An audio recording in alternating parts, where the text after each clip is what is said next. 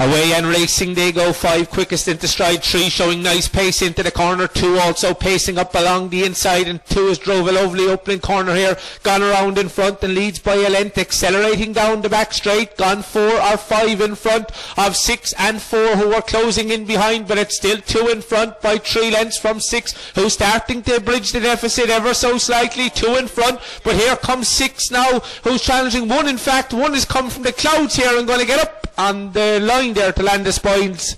Slaneyside Misty.